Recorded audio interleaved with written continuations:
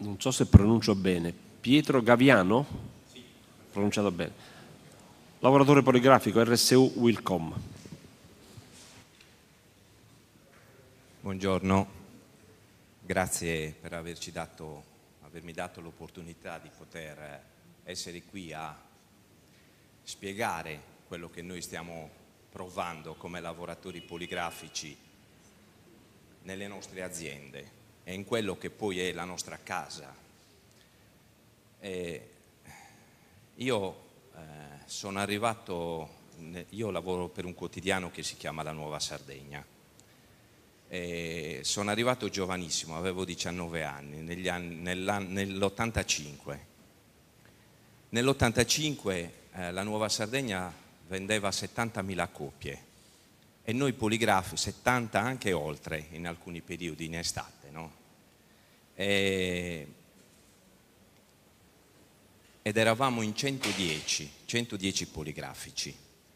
Oggi il, il, giornale, il mio giornale vende 29.000 copie e siamo in 52 poligrafici. È chiaro mh, mm, che i fattori sono tanti, io sono arrivato quando c'era il famoso passaggio dal caldo, cioè dalla vecchia tecnologia del piombo, al freddo, come si chiama, e quindi la nuova tecnologia che noi abbiamo vissuto in un momento eh, dove il giornale esprimeva cultura, era un, mondo, era un mondo bellissimo, affascinante, coccolato da tutti, no? eh, dove anche i giovani, anche i figli eh, si vedevano col giornale sotto braccio, no? andare a scuola, era una cultura. E in quel momento eh, noi abbiamo vissuto questo oh, processo dal caldo al freddo come un'innovazione bellissima, no? la tecnologia, il computer, e poi però pian piano ci siamo resi conto che eh, era la nostra, eh, non so come definirla, era l'ultima, cioè, l'ultima spiaggia, è quello che ci ha portato, diciamo così, alla deriva insieme ad altri fattori, al fatto che i nostri figli non comprano più il giornale, rispetto al fatto che eh, internet, noi lo chiamiamo così, il web ci ha portato comunque, ci ha sottratto eh, delle vendite, eh, il fatto che eh, la pubblicità, cioè le aziende, soprattutto in un territorio come come la Sardegna non investono più perché hanno difficoltà eh, a pagare i, i, lavoratori, a pagare i loro, hanno già i loro problemi e quindi non investono come prima. Ecco, tutto questo ha portato ad una crisi che noi stiamo vivendo veramente male. Eh, l'azienda in cui lavoro, eh, noi siamo quattro anni in solidarietà, in ammortizzatori sociali e eh, li abbiamo quasi terminati. E con questo trend di vendita e con questo trend di calo di pubblicità è chiaro che eh, non sappiamo cosa l'azienda voglia fare nel, pro nel prossimo futuro, stiamo parlando da qua a fine anno. E, è chiaro che se non c'è un ammortizzatore, se non si trovano soluzioni per dare una mano, eh, io so già che il mio futuro potrebbe, cioè il mio futuro lavoratore potrebbe eh, terminare anche entro l'anno. Io non so se l'azienda aprirà le procedure di, di licenziamento, che, che, cosa succederà. E, è chiaro che dopo 35 anni di lavoro non avere più un futuro, sapere che eh, per continuare a lavorare Sicuramente dovrei varcare i confini della, della mia isola perché non c'è lavoro, è veramente difficile. E stiamo lavorando, stiamo continuando a lavorare eh, con la mente come negli anni Ottanta, però è chiaro che è molto difficile.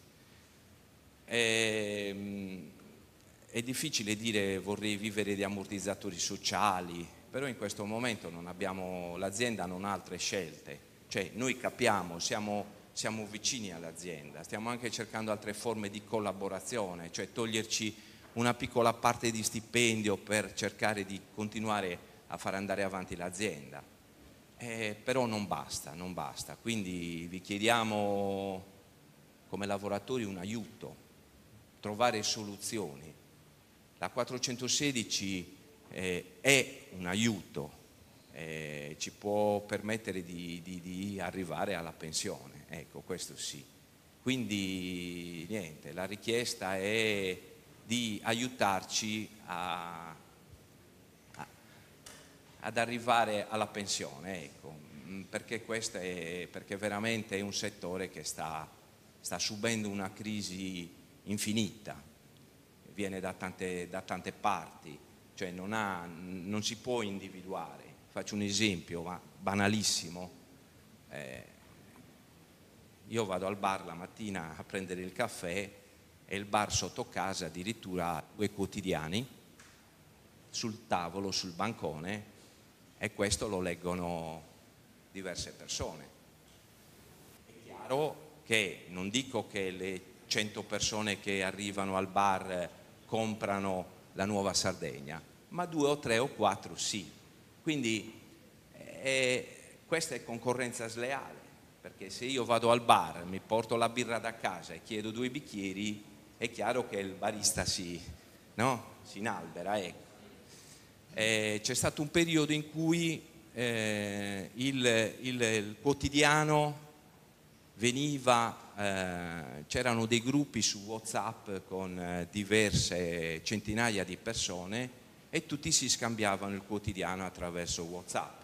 La mattina presto eh, arrivava puntuale la Nuova Sardegna, ma come il Corriere, come Repubblica, tutti i quotidiani, Topolino, venivano hackerati dai nostri server, dai nostri siti e venivano distribuiti in questi gruppi di, eh, su Whatsapp. Ecco, anche questo è, è un, un, fattore, no? È, purtroppo. Noi come azienda ci siamo mossi, abbiamo, abbiamo mh, presentato una denuncia all'autorità e questo insomma è servito per far sì che il sistema si, eh, un attimino si, si, ridimensionasse, però è ancora in atto, ma quindi eh, chiediamo anche strumenti insomma, per poterci difendere.